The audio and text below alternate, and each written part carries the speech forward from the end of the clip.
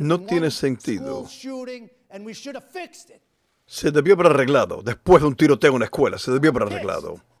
Y estoy encabronado porque es mi hija la que no voy a volver a ver de nuevo. Ella no está aquí.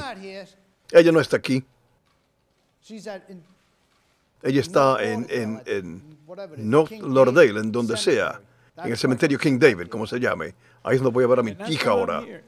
Y por eso yo estoy acá. Perdí mi mejor amigo. Prácticamente era mi hermano. Y estoy acá para usar mi voz porque yo sé que él no puede.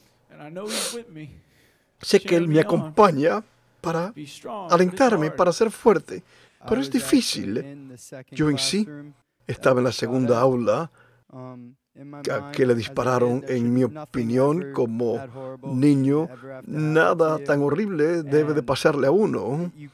Y ni siquiera se puede pensar en esto, ni siquiera aún parece real, todo parece ser falso. Ni siquiera, ni siquiera sé lo que está pasando. Hace 19 años, el primer eh, tiroteo en Columbine, en el bachillerato en Columbine, eh, Colorado, ocurrió.